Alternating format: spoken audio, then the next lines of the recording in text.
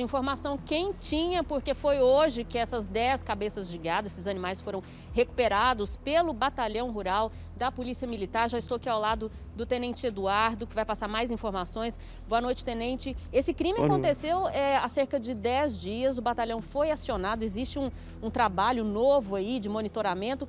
Como é que vocês acabaram conseguindo recuperar esses animais? Boa noite. Boa noite. Cerca de 10 dias, nossa equipe deslocou até a cidade de Goiandira, onde o proprietário informou que havia sido vítima de furto de gado. Eh, ele passou no momento do registro da ocorrência os, eh, as características do gado dele, a marca, foto, passou inclusive vídeo desse gado que ele já tinha lá armazenado. Desde então, nossas equipes trabalharam dioturnamente, realizando diligências no sentido de localizar esse gado. E hoje, pela manhã, recebemos uma informação através do nosso disque denúncia de que havia um gado suspeito lá dentro da cidade de Goiandira, mesmo num pasto. Nossas equipes de imediato deslocaram até o local, é, tratava-se de um pasto arrendado, é, localizamos lá as 10 cabeças de gado. Esse gado já havia recebido uma nova marca, ele, o, os autores eles já haviam colocado uma marca nova nesse gado, no sentido de tentar enganar um possível comprador de boa fé e as, as autoridades policiais. Mas mesmo assim o dono foi acionado, ele reconheceu o gado, é, o gado foi restituído.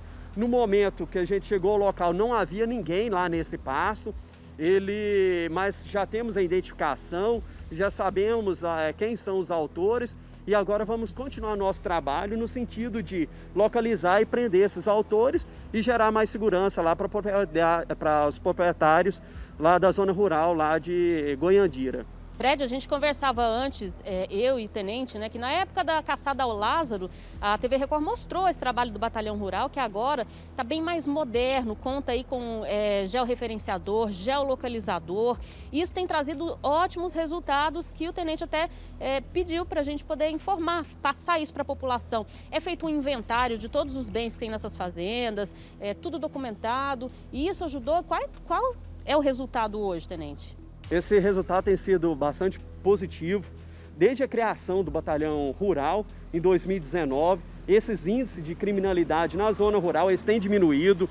É, 2020, comparado com o ano de 2019, houve uma redução de 42% e meio é, nos índices de furto de gado e roubo nas propriedades rurais.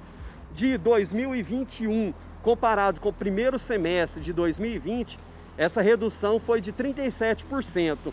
Então, é, dioturnamente, todos os dias é, é feito um trabalho preventivo, um trabalho de policiamento comunitário na zona rural.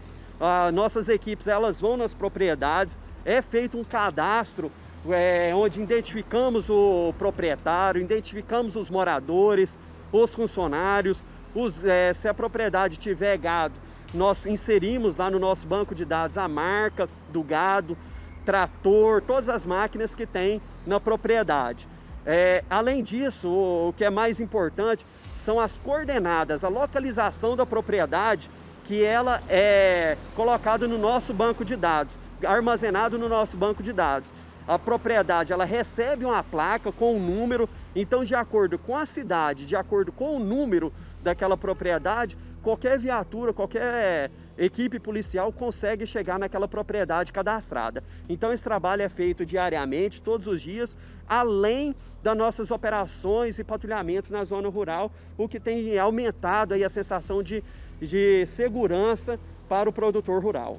E muito obrigada pelas informações, parabéns pelo trabalho aí desempenhado. Volto com você, Fred.